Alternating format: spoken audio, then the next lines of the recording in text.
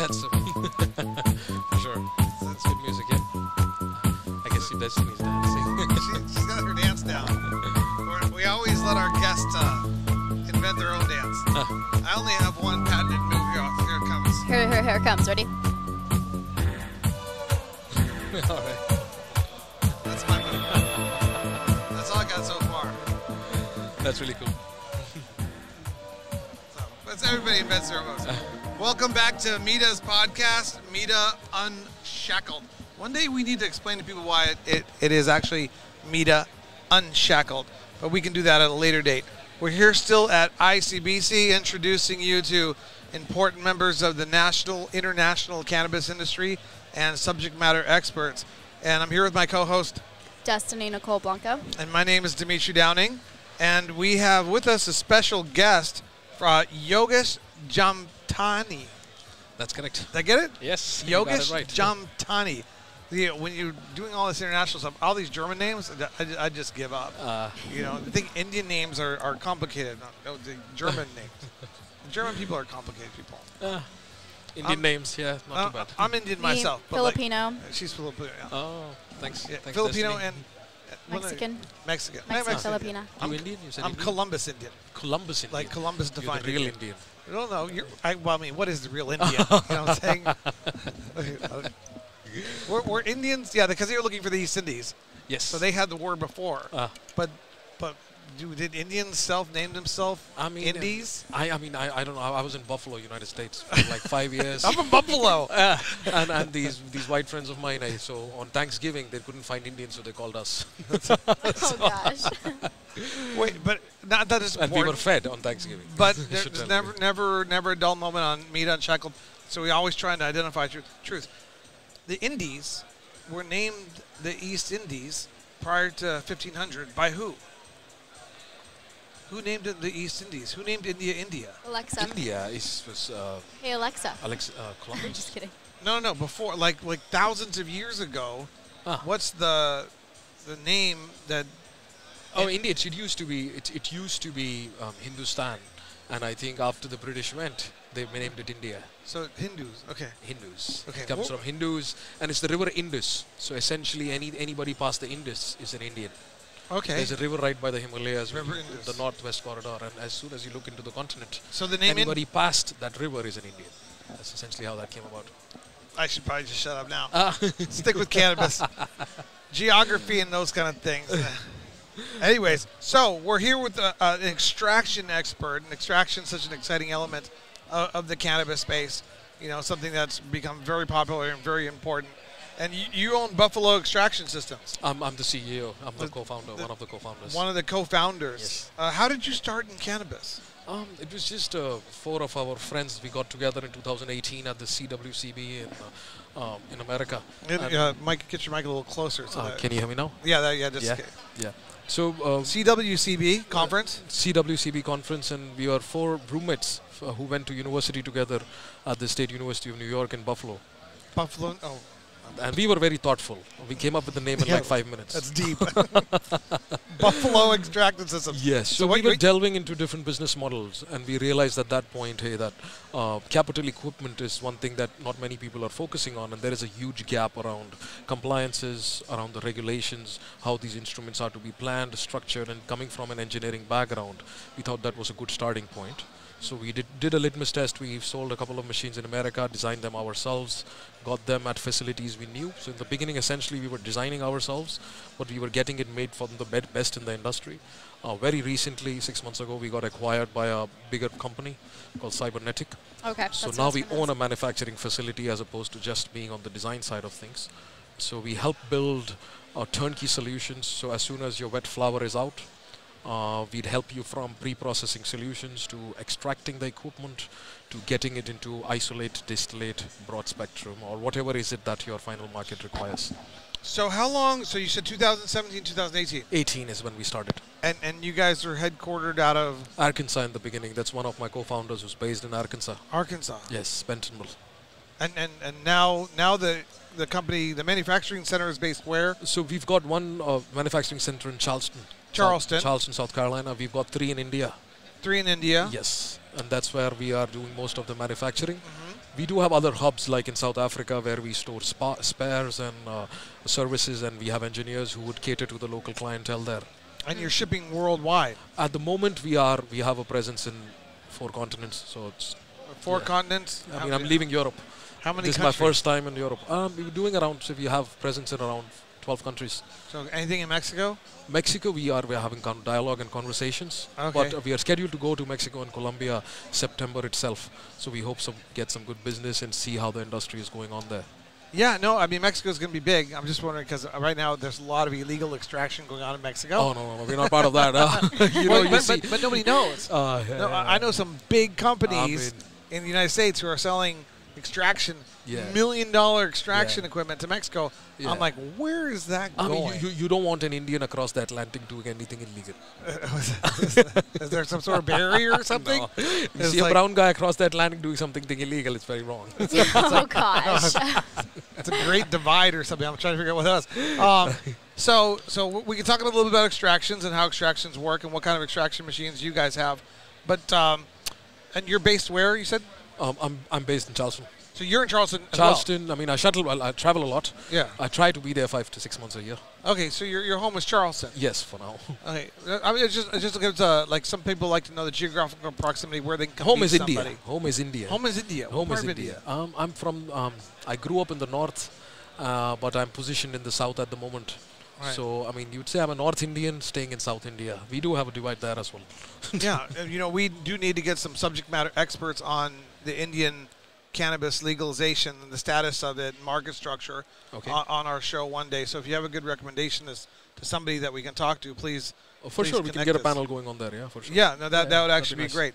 So tell us about Buffalo Extractions and what, what makes your equipment the best and special and, and why you guys do what you do. Okay. Um, I think the biggest uh, uh, gap in the industry at the moment is the unawareness. I think where we come in is uh, it's, it's, it's a piece of equipment doing technology and we're doing extraction. I think uh, there are very few companies out there who are following the right compliance standards, especially when it comes to EU GMP, CE, ASME. What's Um, UGMP? uh, these are good manufacturing practices that are followed in Europe. The and there's- GMP again. Yes, yes. So she uh, thought it was a word. ah, she was trying to pronounce it. It's okay. So it That's stands okay. for So it, essentially, I mean, these standards have to be followed, especially in countries like Europe now. Uh, all countries in Europe, how they have the standards out for the kind of extraction technology from uh, as soon as the crop comes out for drying, for processing, pre-processing, extraction. The standards are very complex, and I think companies who would be following that in a very robust way, I think our in- instruments are very robust in nature. It's better ROI. We follow the compliance standards. We are a completely a green organization with a very low carbon footprint. So I think those are some sustainable advantages we have over other uh, um, equipment manufacturers. But hey, I can be talking sales, but I see where we really come in is taking accountability, and we hit white elephants. To take accountability and to be with the client till their first batch is out. So I think that's where we come in and we take greenfield projects. Hey, we, we'd had pieces of land and not just equipment. So we help the clients all the way from facility design, from their user requirement specification formulations, helping them build the facility if they want, Mm-hmm. putting the equipment in there, and making sure that we are with them until their first batch is out. So I think accountability is and a robust system and compliances would be my advantages. yeah. We love that word here at Mita. Ah, Accountability. You, you don't. That, that's really smart because you offer. You, you guys have expertise that's much broader than just extraction, yes. and why not share that and give that away, and then you know they obviously in turn with respect by your product. Hopefully, Uh-huh. you're right. Absolutely, and it's a positive feedback loop. I mean, these are things that we have realized while being in the industry. In the Is that called? Is that called a positive feedback loop? I think so. Yeah, is that- that's how you build capabilities, as I may call it. you build capabilities by taking feedback, yeah and- Amen. and, that's where we are at now. Positive feedback loop. I'm gonna. Go, I'm just kidding. I uh, look. I went to Boston University. I went to U of A Law School, but I, I- I'm a pretty smart guy. But I, I I'm learning. I'm forgetting a lot. I'm learning a lot more. Mm-hmm. You know, this cannabis industry is so complex. I'm trying to pick up so much. I seem to be leaving a lot behind. Yeah, but it's not called it's not called forgetting. It's unlearning and learning a lot. that's Yeah. what Try we're doing. But but I haven't used the word positive feedback loop so for a while. So I'm gonna write that down. I'm gonna Google So that. we take feedback, and I think the, the the kind of unawareness, it's it's our clients that told us that hey, we don't know this. So we don't know, we don't give no for an answer, and we'll find out the answer for them and give them those services. Right. So that's where we are at. I would say we are a turnkey solution provider in the cannabis space, where we help them all the way from when their crop is out to their final product, uh, which is with, with, with which they can go to market. So um, we have two extraction technologies: carbon dioxide and cryogenic ethanol. Those are the two uh, major areas of technologies we focus on. Those are the mostly runs. Let's say CO2 is highly selective, used by research institutes. There are other variables which I can get into details as to comparing one over the other, but I can send you details and uh, we can run some videos around that. I don't want this to be a technical spiel and me trying to sell you machines. No, no, no, no, no. No, we want to learn about you know what what it is. And, and, sure. and, and the most important people watching our, our videos are trying to understand the industry, trying to understand who's who and who they reach out to. You know, so they're trying to put a face with the company. So that's the most important thing. Yeah. How, how, how people get in touch with you, etc. Okay. Um, car- uh, you're, you're, she's more familiar with extraction than I am. Cryogenic, cryo, cryo. Cryogenic ethanol. So Freezing, is- right? uh, freezing, Yeah. freezing. So essentially, uh, it's like uh, conventional solvent extraction, where in, in the back in the day, herbs used to be extracted by just dipping them into ethanol. And after a certain point in time, say a four-hour batch cycle, the all the molecules from the herb will translate into the ethanol, and then it's distilled further to get the juice out and use those chemical molecules in either medicines or traditional medicines, or even say um, recreational stuff for cannabis back in the day should be manual. What we have done is using cryogenic ethanol, we dip the temperature of ethanol to a minus 40 degrees. That makes it more efficient. It extracts more juice out of the crop and it is much faster and it is much robust. So the loop would essentially be looking like, hey, we would chill the temperature down of ethanol to minus 40, mix it uh, with the biomass, that is your cannabis, um, marijuana or hemp biomass, uh, with a half hour batch cycle, further distill it down, and then give you the crude oil, which can then be further extract to, extracted to your isolates, distillates, broad spectrum or full spectrum oils. And, and, and cryogenic extract was being done in what industries before cannabis? So um, all of these extraction, I mean, I, um, I say this to my clients. This cannabis is another crop. So any herb or essential oil you think can be using ethanol as a solvent, which helps uh, extract biomass, chemical molecules into substances that can be further used in either medicinal, recreational, or Right. nutraceutical industries. So it has been used for any herbal industry. You say turmeric, ginger, curcumin, Lavender. or lavender or uh, uh, skiletium or moringa. So any of these herbs could be using this technology. And same goes for CO2. CO2 is carbon dioxide, which is just another solvent like ethanol. It just has a special property where at a certain temperature and pressure, it would flow like a liquid but penetrate like a gas. And that's where uh, that's where the selectivity comes in, that it comes into use of extracting, but without any. It's a non-polar solvent, so the filtration is easy and it's good for research where people are trying to do recipe management and come up with different parameters of different kind of cannabinoids they want to extract terpene extraction on all sorts of stuff that can be used using the carbon dioxide technology Is there another way to do it then with with, with your, your system and not ethanol?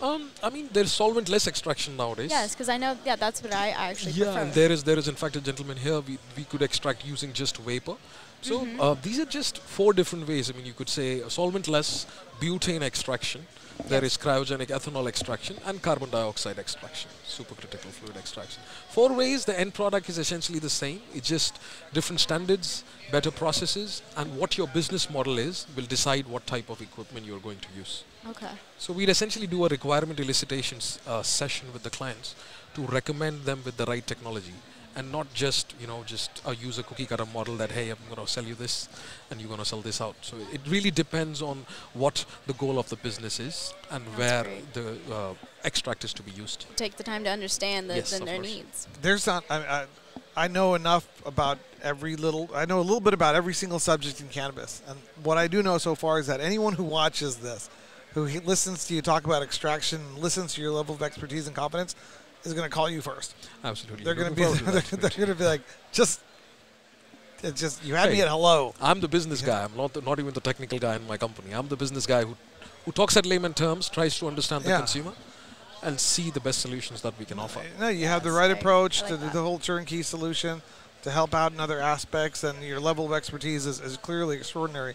And you have uh, and I, I- I don't know the difference between all the different extraction uh, types and what they mean, you know. But that's why, if I was going to get into extraction, if I was going to do a vape pen company, I'm going to call somebody like you to make sure I'm working with the right equipment. Looking forward to it. Yeah, and, and if I knew the right equipment, I'd be running my own extraction company. I'd be telling people, "This is how it works." my name is Yogesh. no, but Buffalo Extraction Systems. You guys have, uh, uh, you guys have uh, offices in the United States. Any offices in Europe? Uh, not really. This is my first time to Europe at the ICBC. Mm-hmm. So um, I think after this uh, expo, we will be deciding on saying whether we've made a good uh, point of uh, contact, uh, good relationships, good strategic partnerships around here. Mhm. So I think we'll see how Europe unfolds for us in the few next few months. Excellent. So, awesome. how do people get in touch with you? Where do people find you? Um, uh, I, I, I'm gonna give you my email and my phone Oh, number. they'll see it here. We're putting them there. We'll put it here. They're gonna click your face. Oh, all right. hey, this is Yogesh. and uh, and you're also on LinkedIn, right? Yes, I'm on LinkedIn. Yeah. Buffalo Extraction Systems. You can just Google me, LinkedIn me, email me. Okay, cool. Well, we'll hand out all your information. It'll be on the on the digital format and stuff. So, awesome. Well, thank you for joining us. And uh, we're still in Berlin. And uh, where will we see you again? What's your next conference? Um, I mean, for a pint tonight. No. The after party. oh, a pint. I Uh, like that. I'm, I'm, I'm going for that expo in, Pretro- uh, in Johannesburg in South Africa in September. Ah, Okay. See, we did, I South didn't even know about that one.